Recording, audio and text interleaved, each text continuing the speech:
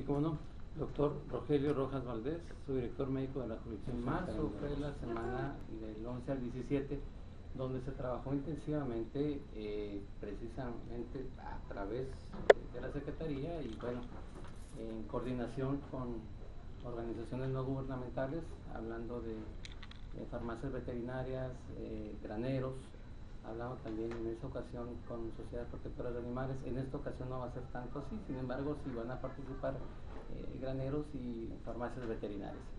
Y sí quisiera puntualizar mucho eh, la diferencia con la responsabilidad o el nivel de responsabilidad que tenemos nosotros, es, aunque ya se mencionó, pero sí es bien importante entender que como Secretaría de Salud nos hacemos responsables del el perro agresor.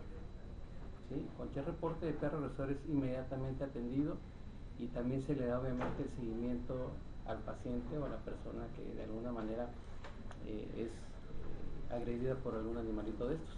Y ya, perro callejero definitivamente es una responsabilidad o un área de responsabilidad a nivel municipal. ¿Y a qué número se podrá comunicar las personas que sean afectadas? Bueno, eh, una de ellas es el teléfono de la jurisdicción sanitaria al 688-3804. Y de ahí este, en el conmutador le van a canalizar eh, con quien corresponda, eh, particularmente con el área de epidemiología y el teléfono del doctor. Que es el de nosotros 978-8584.